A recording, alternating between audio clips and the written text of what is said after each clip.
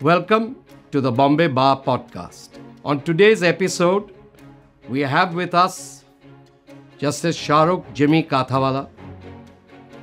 His road to judgeship is truly an inspiring one and reveals the kind of success one can achieve with hard work and determination.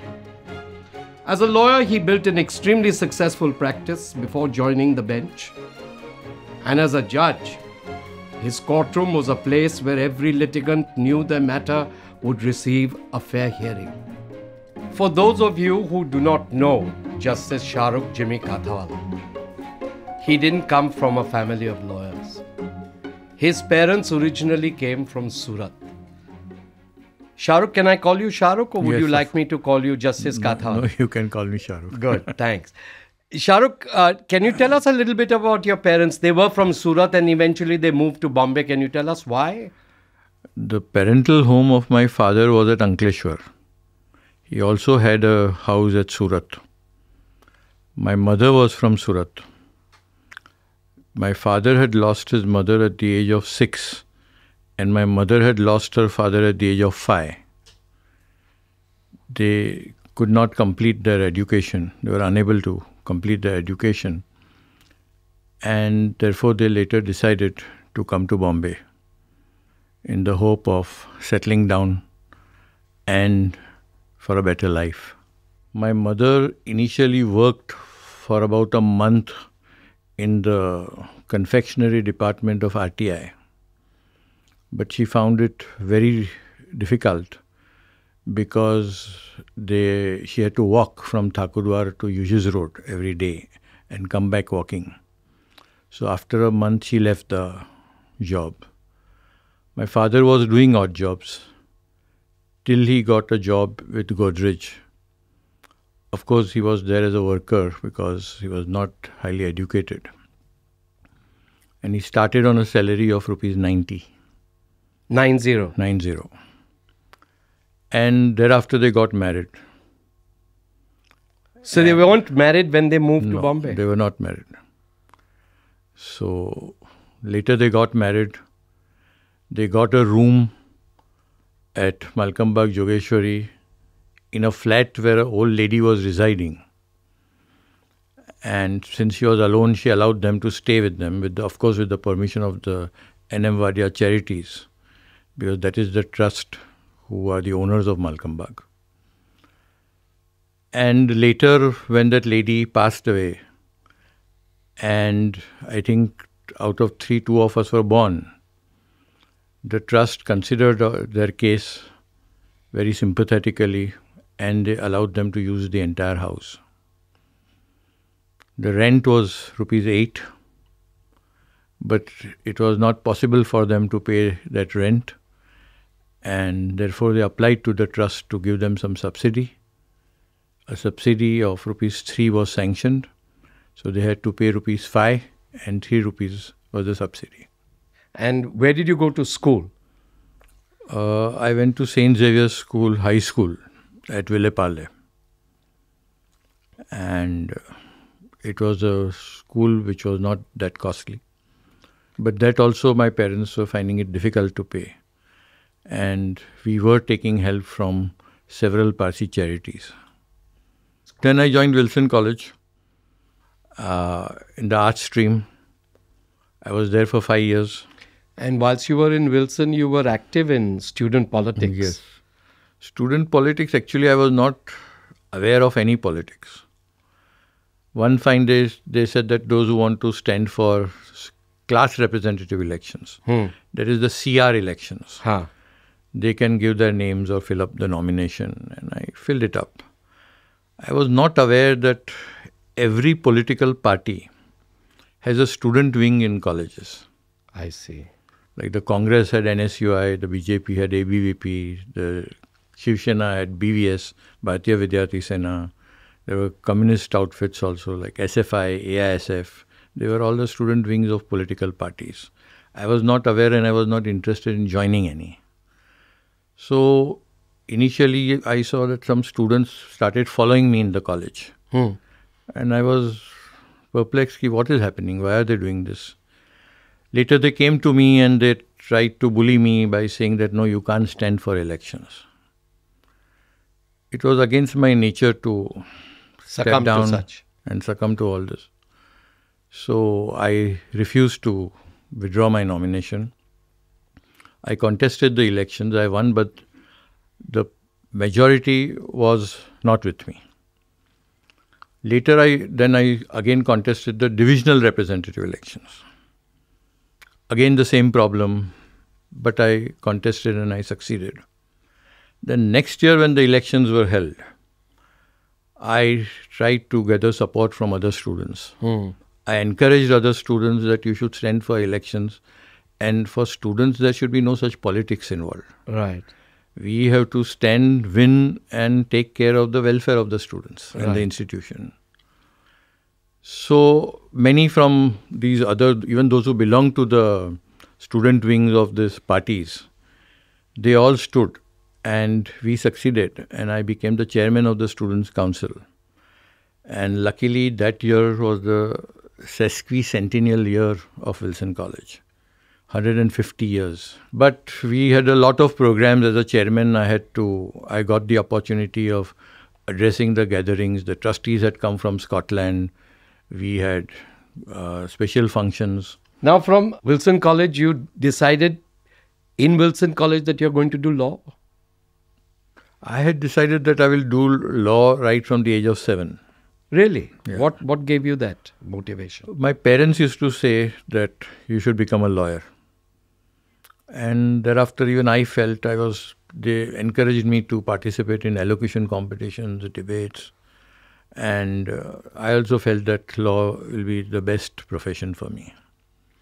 And in GLC also, you contested uh, student elections. Yes, in GLC also I contested the student elections because in every college there are two panels, the rival panels. In my first year, it was our panel which succeeded. Hmm. And I was the office bearer. And we did a lot of work.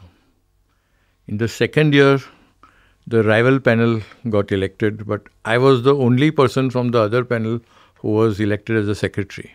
And they wanted to remove you They were the certainly not wanting me there.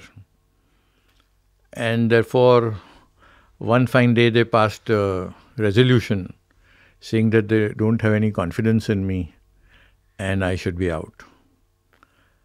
And uh, I went to the principal. The principal said that it is very difficult for me to handle these students. No one is listening to me. And I don't mind supporting you even if you go to court. At that time, I was working as an apprentice, what is not now called internship, in Mulla and Mulla. I went and told my senior that we are talking about becoming lawyers and do justice and all, and what is happening in our college is very shocking and disappointing. He called up Gulam Vahanvati.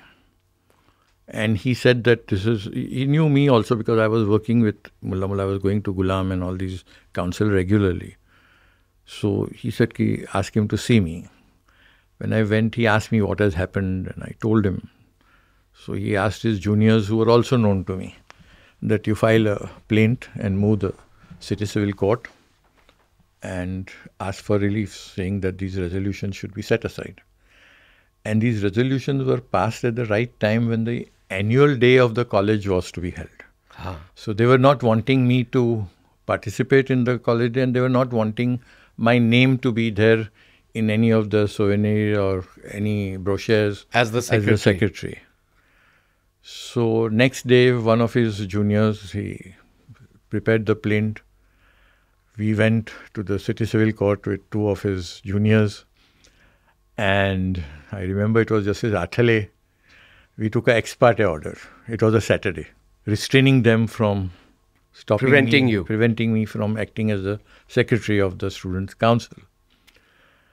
When the order was served on them the next Sunday, on Monday morning, they, I think Monday was the annual day. Ah.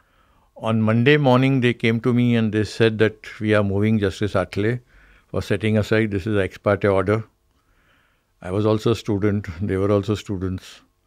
So I rushed to the High Court to uh, and tried to locate Gulam's juniors that they are moving the court. So you please come. They were all busy. So I went to Justice Atlay's court. I entered the box In person. in person, and another boy who was the secretary, he also entered the box. And both of us started arguing.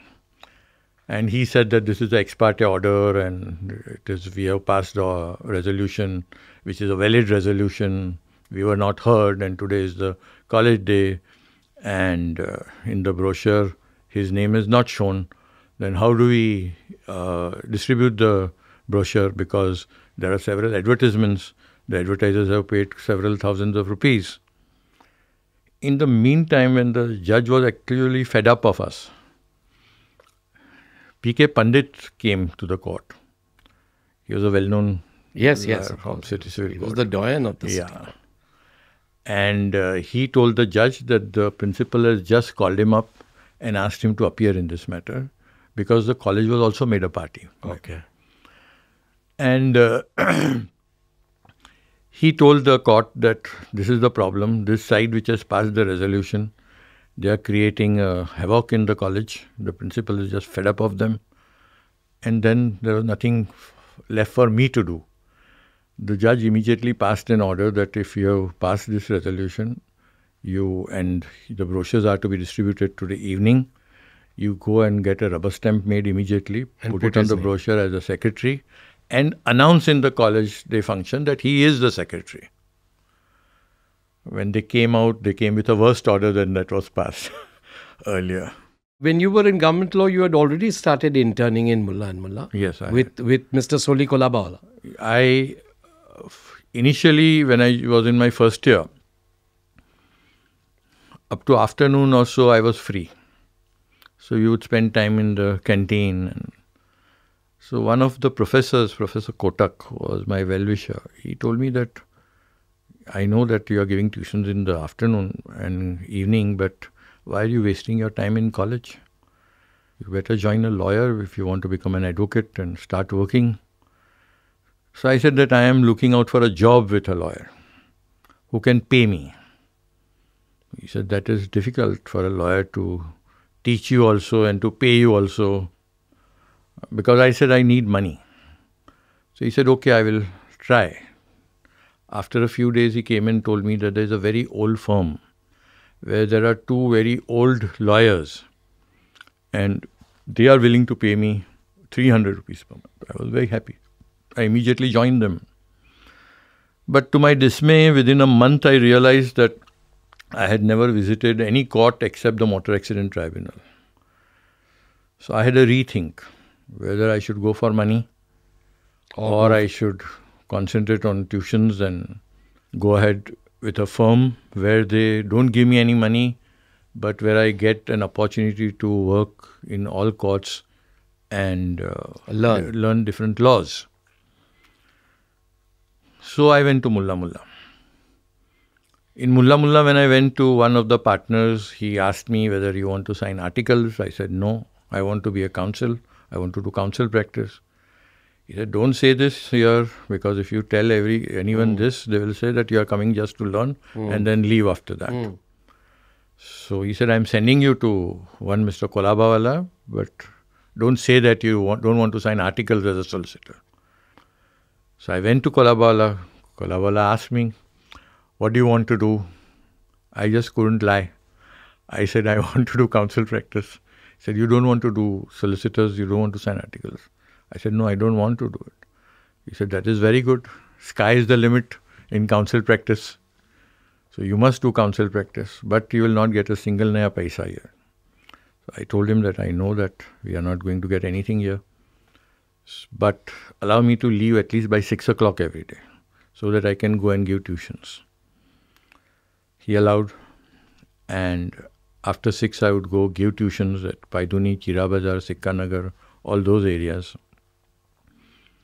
Reach home at Jogeshwari at 11 in the night, get up in the morning, come back for the 7 o'clock lecture to Government Law College. That is how I was introduced to hard work. And did he give you any kind of tips on drafting? On drafting, he would always say that drafting is the foundation of litigation. So before you start drafting, you should read all the facts, go through all the facts, go through the law which is applicable to the matter, and only then draft. What I later realized in drafting was that over and above this, you should also have a foresight as to what the other side will answer to your pleadings and take care of that in your pleadings and try to weaken their defense. This is what one will learn with experience. But this is what I would like to, and I would always tell my interns. I used to always, I, in my 14 years of career as a judge, I must have had 300 interns. Wow. Uh, so I used to always tell them that please follow this. You must know what will be the answer of the other side to what you are. And this you can do only if you have studied your matter very carefully and meticulously. Otherwise, you cannot. Mm. And then, uh, after you finished your uh, law, you started practice straight I away? I started practice with Rafiq Dada. Right. One of the best. Uh, undoubtedly. Counsel. Undoubtedly. I remember, in fact, seeing you there. Yes. And uh, who was your colleague there? Colleague was uh, within a week, Suresh Gupte joined uh, Mr. Dada. So you A week started after- with Suresh Gupte. You had Suresh Gupte as your colleague in Yes. in the bench, Yes. and now you're sharing a chamber also with Justice. Even Suresh. earlier, yeah. As soon as he joined Rafiq Dada, we were both strugglers. And as money wise, also, we were sailing in the same boat. So we know the problems of each other. So the first thing that we did was when our practice started picking up and we had to buy a cause list. During those days, we had to pay some 800 rupees or yes, something. yes. yes. So we would pay 400 each and buy one cause list. We had one pune whose salary was 600 rupees. We would share 300 rupees. We had one account with Mrs. Gracious on the third floor canteen. so if he wants to eat anything, he would eat. If I want something, and in the by the end of the month, We will not check who has had what and pay 50-50. That is why when we purchased the first chamber also, we were together. It is only after he became a judge. First I became a judge, then he became a judge. That then he, he sold his uh, portion of the chamber to me. Okay. And later in by 2013 or so, I think he became a judge. I was appointed in 2008. And uh, he retired before me, about nine months before me. So he came to me and he said that now if we practice, we will need a bigger chamber. So would you like to look out for a bigger chamber together? I said, I have no problems. I never had any problems with him. So I was a sitting judge. He was, he had retired and he had started looking out for chambers. Then he told me that there is a good chamber at Free Press House, and that is how we took the chamber together. Though our work is completely independent, we share the premises. So, what was your first brief? Who did you appear before? The first brief was before Justice Sujata Manohar. The first case, it was a writ petition where a very old Parsi lady, they were the owners of Premier Aerated Waters years back, which business had come to us complete, Complete standstill. But the phone was in the name of that Premier.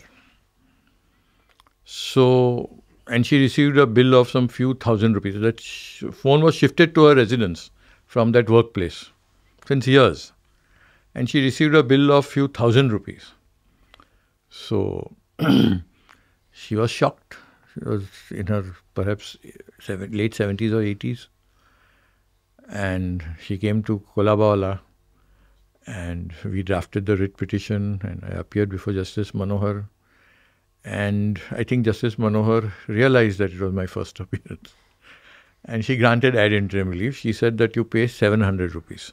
Uh, It was, we had to explain to the judges that the name is Premier Aerated Waters, but this is now not a commercial, it is not used for commercial purpose because this phone is transferred to the residence of this old lady.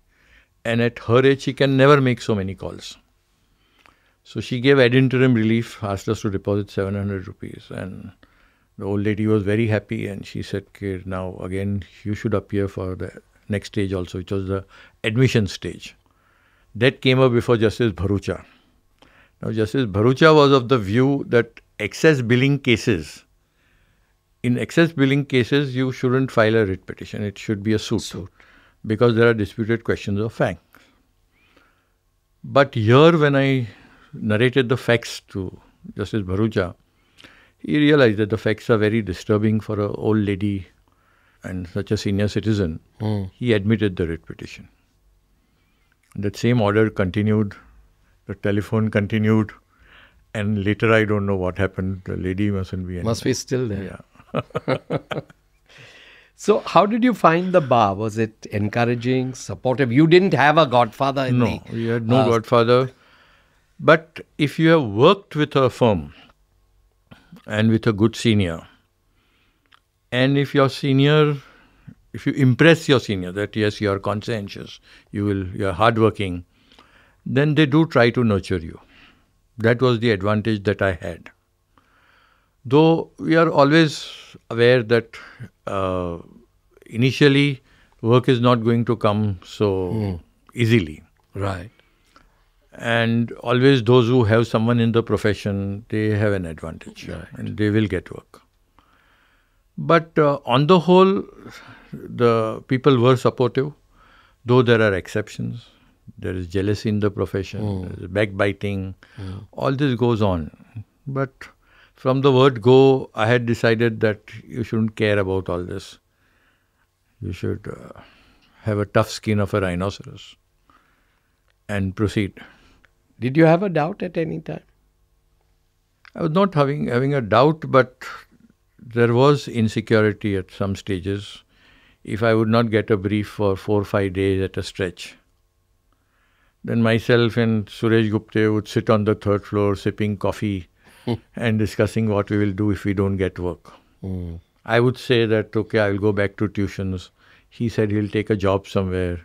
You were very close to your parents, uh, and they encouraged you to become a lawyer. But did they also encourage you to become a judge? My mother was very, very keen that I should become a judge because during those days they were in the awe of that term justice. As a lawyer, you must have been earning much more than Much, you would much more, much, much more. as a judge. Much, much more. But the day I felt that I can retire from tomorrow Hmm. and I have enough to take care of myself, of course, my needs were not too many. I decided that okay, I'll take up judgeship. But you were asked twice. Yes. but So by the time uh, uh, I agreed, apart from the insistence of my mother, I was financially well placed. So I felt now it's okay because when we became judges, I don't know what was our salary. We were getting hardly one lakh and odd, Hmm. which you would earn in half an hour. Right. Right.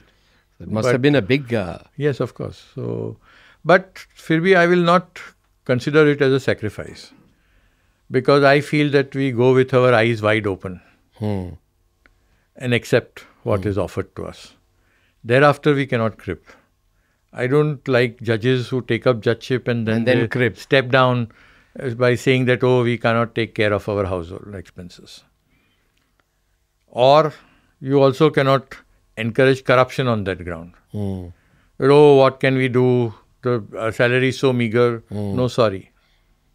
These excuses are not available once you take up judgeship. Right. And the first time you sat on the bench, you did income tax matters with Justice Radhakrishnan. With Justice Radhakrishnan. How how did you uh, did you do income tax work? Never. No. Therefore, my prayer was at the time of swearing in that I should not be made to sit with a senior judge who is doing income tax. So they made but you they sit. went unanswered. and it was, uh, initially, it was quite difficult.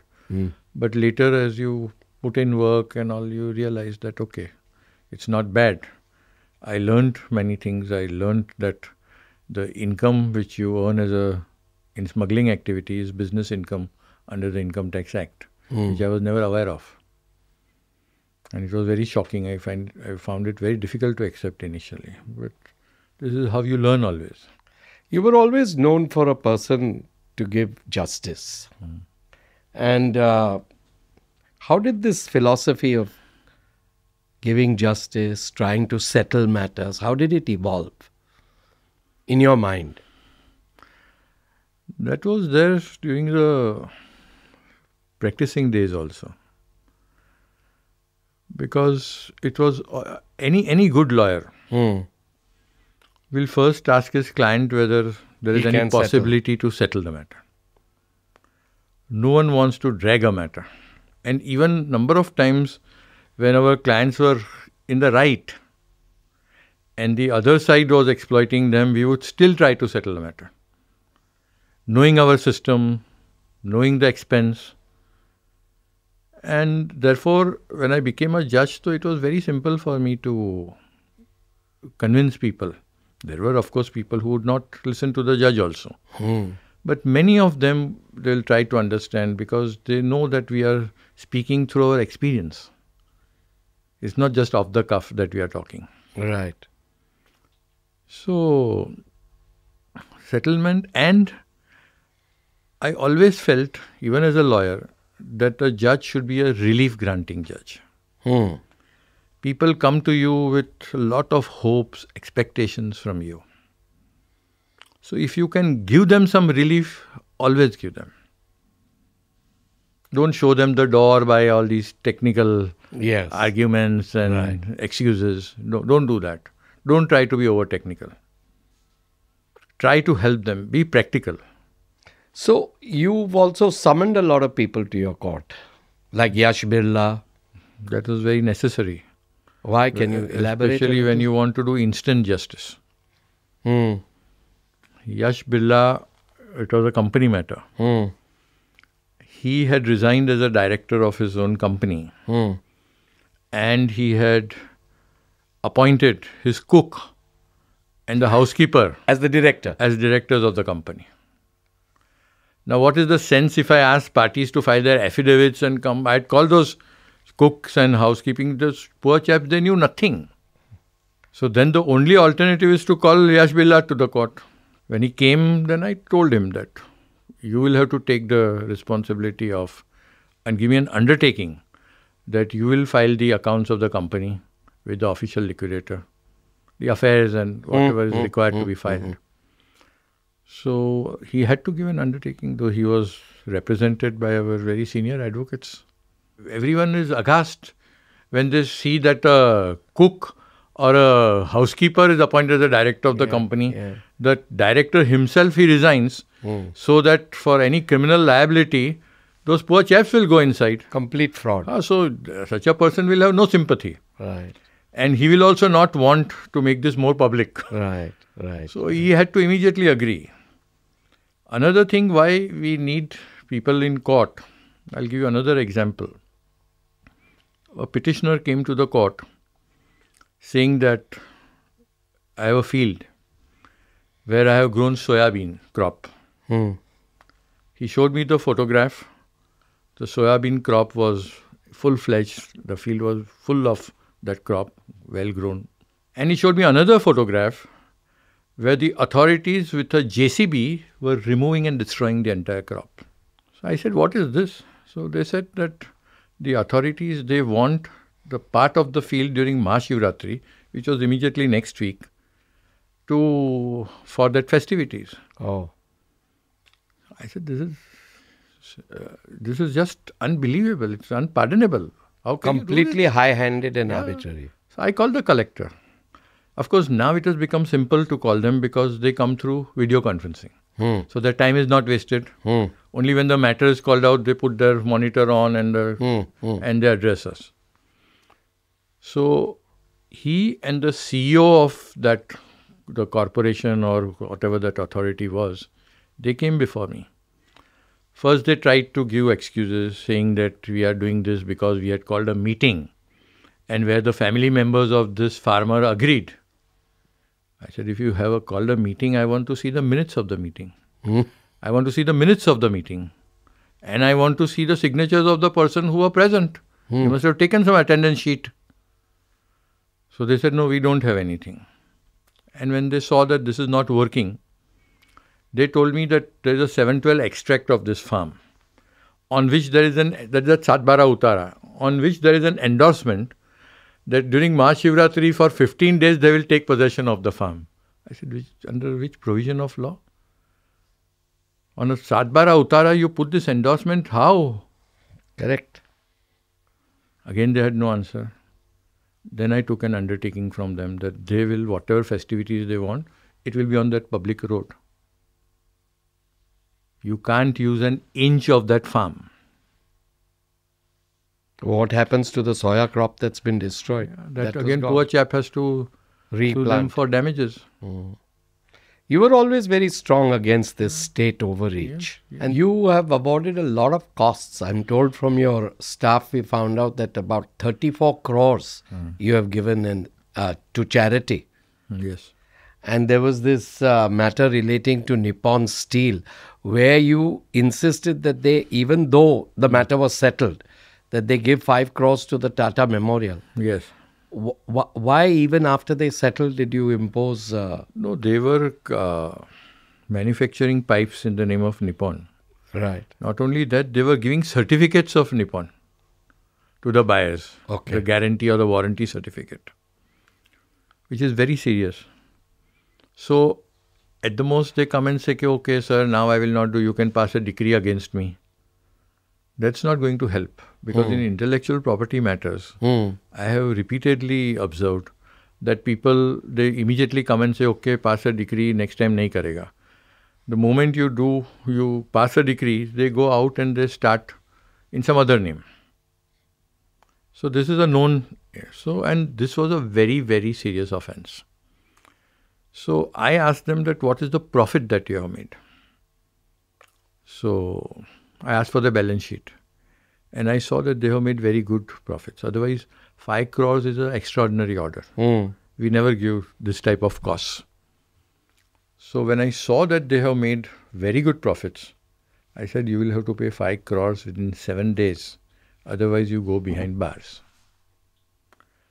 They got so scared that in the next two days they paid five crores. Because the offense was such. Hmm. If the police would have taken cognizance of this, they would have been behind bars for a very, very long yes. time. But you've always modeled your life on charity. You received charity when you were small, and you have been giving back to charity. Which are your which was your first charitable organization that you were involved with? I was not involved with any organization as such. I don't believe in giving charity to all these very, very big organizations. I would like to give it to these hospitals where you know how they are functioning. Right. So, the first scholarships which I introduced in the memory of my younger sister was for the students through Zoroastrian Students Teachers Organization. It is called ZOSTA, hmm which I started about 20 years back When you were a lawyer. when I was a lawyer. All these charity mostly started when I was a lawyer because a very substantial part of my income was going to charity. And till date, as far as these scholarships are concerned, I have uh, contributed or donated, whatever you say, rupees 2 crores and 13 lakhs. So it is for the students. Now, this was for the community members. Whenever people approach me for scholarships, even if they're non partial, because I believe that as far as education is concerned, you can't see the caste or the community. Education should be for everyone. So, whenever I'm approached, I give them freely, but after learning some hard lessons, I try to give it straight to the college Hmm. or the school. So when you were um, a judge and you were looking at a counsel, what what kind of arguments did you? What is the kind of way in which you wanted counsel to argue before you? I wanted counsel to be prepared and I wanted counsel to be honest. Honest to the court, honest to themselves. Honest to the court, not in the sense that he has to tell me everything, that he is not required to tell me that his client is has done this or that or he's absolutely wrong. But sometimes it is better to say that here there is a mistake. Hmm. Because I would always tell the lawyers also, even if the lawyer, if he makes a genuine mistake, we can find a way out for them and help them in getting out of it. Mm-hmm. But if you just try to spin around and just make stories, then it is difficult. And once I would find that out, I would be very harsh. Right. So it's always better. I'm not saying, at least as far as law is concerned, be honest. Don't try to mislead. Yeah, never mislead the court. Because I've always told lawyers and my interns that judges talk and judges discuss. If you have been dishonest in my court, there is always a discussion and it may go to 10 judges hmm. saying that please be careful of this lawyer Right. and don't depend on him. And trust is very, very important in court. No? We Absolutely. are surviving on trust. No? We trust the lawyers. We don't say "Okay, for everything that you show me where it is written, his word is enough. Right. But once the court feels that no, this man is not trustworthy, then no one will trust him. And that is why especially junior lawyers, we tell try to tell them this. Because sometimes in your enthusiasm or out of fear also, you may make false statements. But that in the long run will prove very costly. So we have to counsel them, we have to tell them what the consequences would be. And they understand. You were also uh, hearing matters till late in the night. How did you uh, manage to convince your staff as well as counsel to do this? And why did you follow this approach? Counsel community is such that if a counsel wants a relief, he's for the plaintiff, and if he needs a relief, he will wait till whatever time you want to. But if he's on the other side Hmm. and he has to defend, he will say, he'll start cribbling, cribbing, and say, Oh, what is this? I have to wait. This is not the way. This is what happens. So, counsel complaints, I was not taking it very seriously. I was taking them because sometimes what would happen is a senior counsel will say that no, I don't want to wait, I'll go away. Get it placed tomorrow. The junior counsel argues before me. He tells me that this is, the, I would ask him, what is the matter? He'll say, this is it.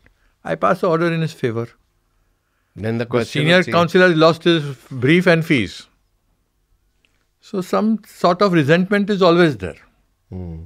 Of course, if a counsel has some genuine grievance, you would always, I would always look into it. But most of the time, it was this problem. And what about your staff? How did you convince The them? staff had no problems at all. It everything depends on how you take care of them. The staff, my staff was like my family. If you take care of them, they will never crib. But you took care of them out of your own pocket. Yes, always. So, as I said, even before I became a judge, Hmm. uh, my substantial part of my income was in charity. Right. So, why not charity for those who work for you? right, right. Charity begins at home. So now to wind up, you had a career as a lawyer, you had a career as a judge. What would you tell your 25 year old self today? 25 year old self, I don't know, but I would have, I would like to tell myself that I should have taken up the judgeship earlier. So you would recommend that lawyers do consider Yes. and Because very the job satisfying. satisfaction that you get there, Hmm.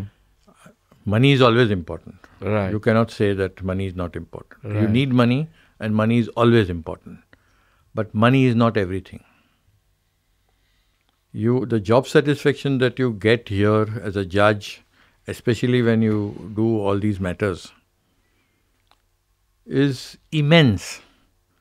And that satisfaction, the lakhs and the crores that you earn as a counsel, will never give you that satisfaction. One more case I'll like to tell you Yes.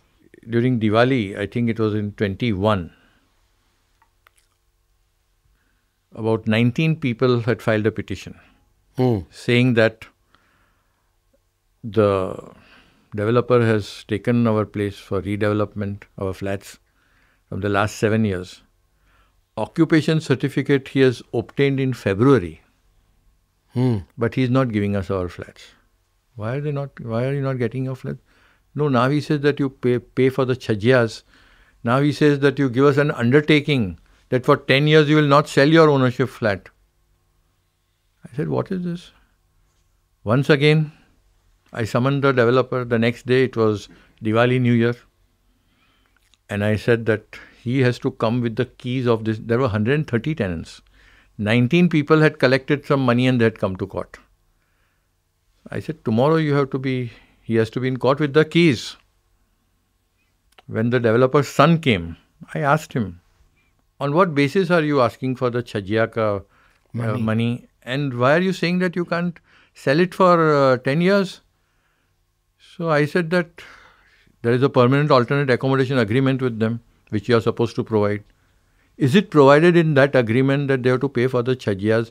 Is it provided that they cannot sell the flat for 10 years to come?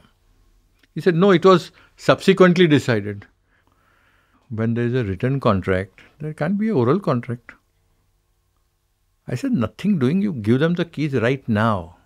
There were people in my court who were 88 years old, 80 years old, 79 years old. You will see their photograph in the Times of India of 5th of November 21. They were tears in their eyes.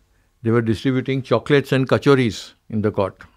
And they said that, okay, now before we die, we, at least we, have, we will be in our flats now.